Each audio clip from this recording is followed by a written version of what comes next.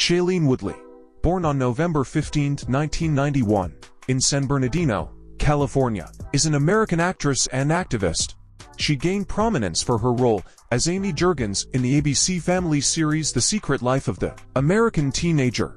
Woodley further rose to fame with her performances in film adaptations of popular young adult novels, including The Fault in Our Stars and the Divergent series. She has also starred in critically acclaimed films such as The Descendants, for which she received a nomination for the Golden Globe Award for Best Supporting Actress. Beyond her acting career, Woodley is known for her environmental activism and advocacy for social causes. She has been involved in protests against issues like the Dakota Access Pipeline and promotes sustainable living practices.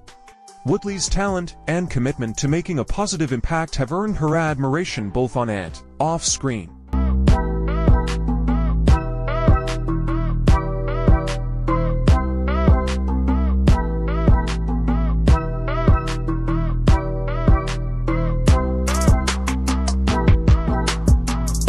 you.